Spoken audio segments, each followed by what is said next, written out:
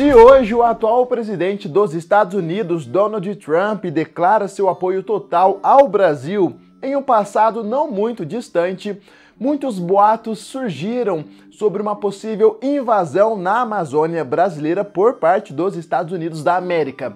É sobre essa história que irei falar no vídeo de hoje. Irei desmistificar algumas coisas relacionadas aos Estados Unidos e à floresta amazônica brasileira. Não esqueça de deixar o seu joinha aqui embaixo no vídeo, pois isso ajuda e ajuda muito na propagação das informações que eu trago para a plataforma, para o YouTube.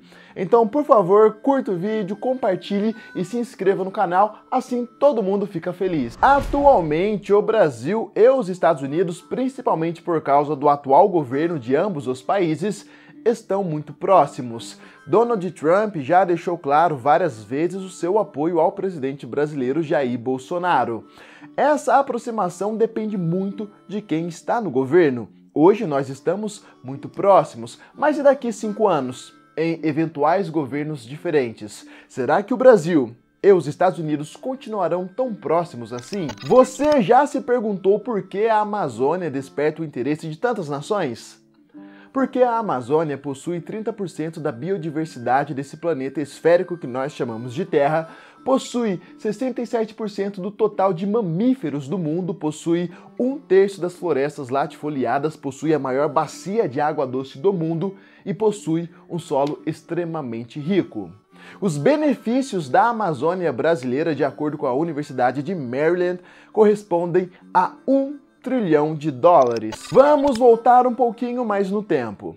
Um livro chamado O Sul Mais Distante, de Gerard Horn, professor da Universidade de Houston, revela que durante o século XIX, o estado de Virgínia, que na época concentrava o poder político dos Estados Unidos, desejava incorporar parte da floresta amazônica. Em 1850, o chefe do Observatório da Marinha dos Estados Unidos, Matthew Murray, chegou a sugerir uma expansão territorial na floresta amazônica, porém, isso acabaria resultando em um conflito diplomático e armado com o então Império do Brasil de Dom Pedro II, que não seria muito viável. A história de que os Estados Unidos pretendia invadir a floresta amazônica ganhou muita força quando lá em 2001 diversos boatos surgiram dizendo que livros didáticos norte-americanos estavam circulando relatando que a Amazônia, na verdade, pertencia aos Estados Unidos. A imagem que você vai ver agora seria desse suposto livro didático que estava circulando nos Estados Unidos em 2001. Esse livro mostra um mapa da América do Sul, onde a floresta amazônica, incluindo partes que ocupam outros países sul-americanos, estava grifado como propriedade internacional da floresta amazônica.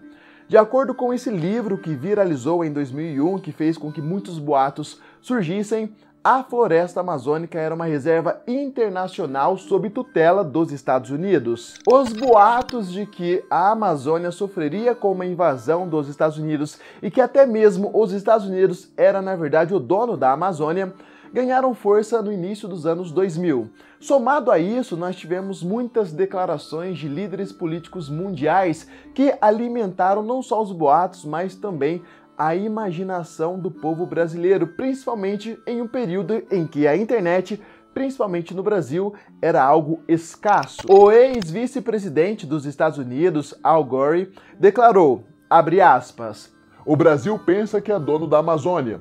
Ele não é. Ela pertence a todos nós. Fecha aspas. O ex-presidente francês tinha que ter francês no meio.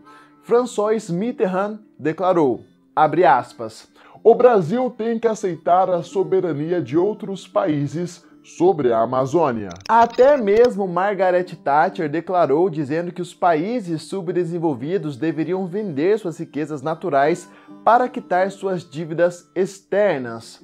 Então, todas essas declarações, mais os boatos, fizeram com que surgisse o mito de que os Estados Unidos não só queria invadir a Amazônia, mas que também já era dono da Amazônia. No final de 2001, foi descoberto que na verdade esse livro era um e-mail, na época era e-mail falso, era um e-mail falso criado por universitários uma vez que esse livro não estava registrado no sistema educacional dos Estados Unidos nem na biblioteca do Congresso. Mesmo depois de várias vezes os Estados Unidos deixar bem claro de que o Brasil tem total soberania sobre as suas riquezas naturais, esse boato durou muito e muito tempo. Espero que vocês tenham gostado desse vídeo. Não esqueça de curtir, pois me ajuda muito, de se inscrever no canal e compartilhar essa história com seus amigos. Fiquem com Deus e nos vemos em breve aqui mesmo no canal Vamos Falar de História.